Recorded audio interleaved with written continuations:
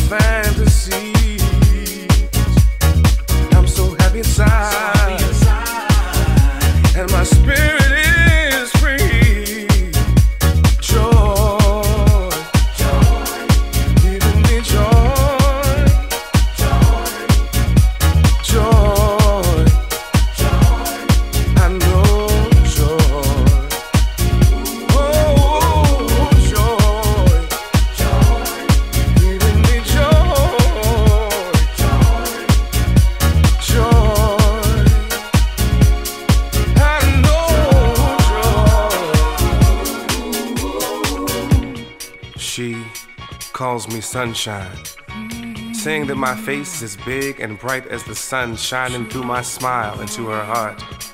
And I've been called a lot of things before, but never anything remotely close to celestial. Since I know for sure that she was heaven sent, I trust that she'd know a fallen star if anyone would.